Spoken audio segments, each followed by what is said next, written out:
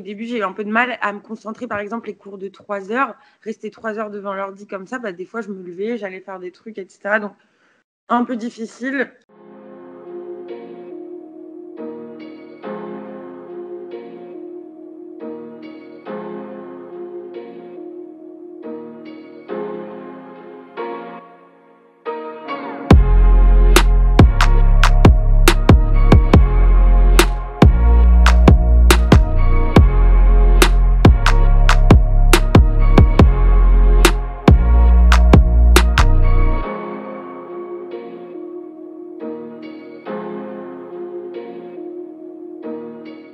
Bah, du coup, euh, c'est assez simple parce que bah, en fait, j'ai juste à allumer mon ordinateur le matin. Donc, euh, moi, personnellement, je reste pas dans mon lit, je me lève, je me mets bien sur mon bureau pour être dans une ambiance de travail.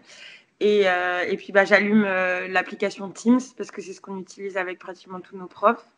Et puis, bah, de là, j'attends que le prof arrive, que les autres élèves arrivent et hop, le cours commence comme presque comme en vrai, sauf que bah, on se voit pas, on voit que le prof. Et euh, voilà.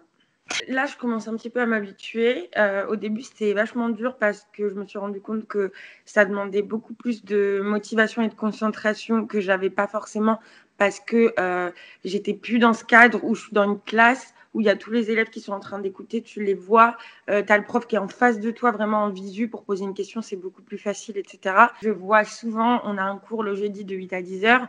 Euh, on est 12 dans mon master, je pense qu'on est 5 à y aller à ce cours, euh, parce qu'en en fait, nos cours sont enregistrés. Donc, ce qui signifie que les gens ils se disent, bah, je vais pas me lever et je regarderai le cours plus tard. Moi, ça, j'essaie de me l'interdire parce que je me dis après, ça ouvre les portes à la fin, tu vois, on peut se dire, oh, bah là, j'y vais pas, là, j'y vais pas. Donc, je me force, mais il y en a beaucoup qui font ça. Il y en a aussi pour qui c'est difficile parce qu'ils sont en colocation.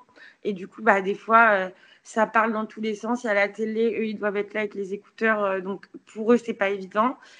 Euh, et, voilà, mais ils essaient de, tenir le coup, mais il y en a qui ont des conditions aussi euh, quotidiennes qui sont pas évidentes pour le télécours. Bah, moi, ça va, à part la solitude, du coup, euh, ça va parce que bah, du coup, mon appart, il est assez grand. j'ai vraiment un espace pour travailler. c'est silencieux. Donc, moi, je suis vraiment à l'aise. j'ai pas à me plaindre. Quoi. On a pas mal de projets de groupe. Donc, parfois, on arrive à se voir. Mais du coup, maintenant qu'il y a le confinement, on fait des visios avec euh, mes camarades, euh, etc. Donc on arrive, malgré la distance, on arrive à se motiver les uns les autres quand même.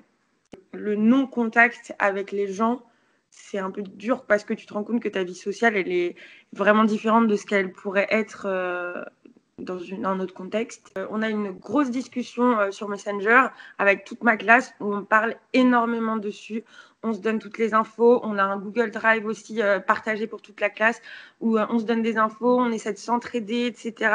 Donc ça, c'est vraiment, on a heureusement, on a une super ambiance de classe et on est tous super motivés.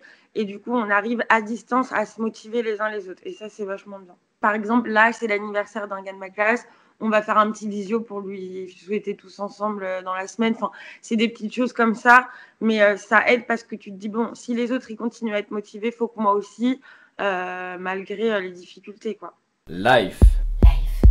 Life. Life. Life. Life. Life. Life. Life.